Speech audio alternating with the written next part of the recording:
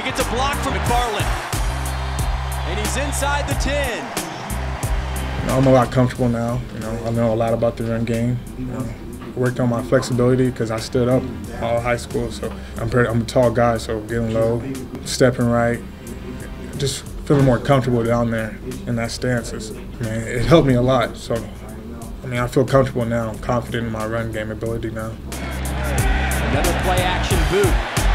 MJ McFarland now with the catch. Inside North Texas territory, and it's another guy Texas is hoping they can lean on this season. Knowing that my time will come, you know, this is a big time school and big time players come here. So coming in, I understood that. I just had to come here and go to work, and and finally it's paying off. I wasn't that big. I came in 220. I'm 250 now, so I had to gain some muscle, you know, just to maintain and block them.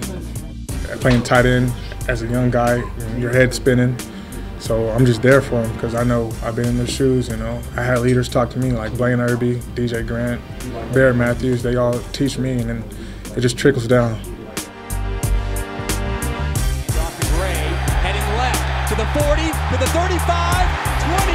Johnathan Gray inside the five-yard line.